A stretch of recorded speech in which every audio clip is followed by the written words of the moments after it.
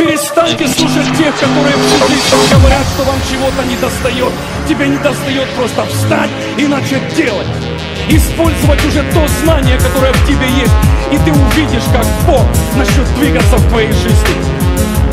Вы знаете, когда я читаю, когда я читаю Библию, я удивляюсь. Обыкновенные парни, девушки, обыкновенные люди в слове. Просто Бог использовал их по одной единственной причине, потому что их сердце было способно двигаться. Почему многие не идут туда? Бог охраняет тебя. Он не дает тебе великие вещи, потому что это уничтожит твое сердце и тебя. На каком-то уровне ты не способен нести вещи не потому, что ты плохой, а потому, что ты не поддаешься. Все вещи, которые приходят в твою жизнь, финансовый недостаток, предательство, боль, какие-то вещи, которые ты переживаешь, это все должно смирять и строить твое сердце для того, чтобы Бог мог поместить что-то огромное на тебя. Каждый из нас хотел бы быть известен, но скажи мне, что с тобой будет, если тебя узнают все?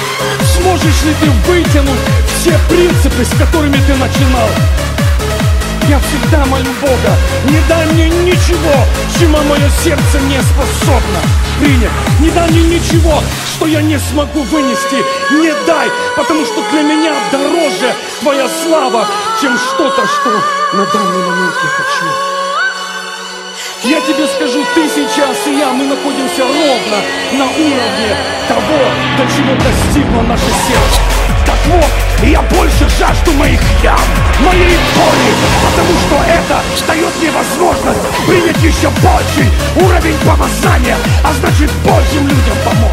Я хочу смотреть на падение тех, которые умели встать. Иногда простое дитё, которому 15-18 лет, может нести больше славы, чем человек, у которого голова проходишь через кризис? Поздравляю! Иного это на смех, а тебе это дает качество, которое ранее не могли быть. Каждое падение – это недостающий фактор в твоем сердце. Когда мне Бог это объяснил, Он говорит, ты будешь падать до тех пор, пока больше не упадешь. Я тебе скажу, ты сейчас и я, мы находимся ровно на уровне того, до чего достигло наше сердце.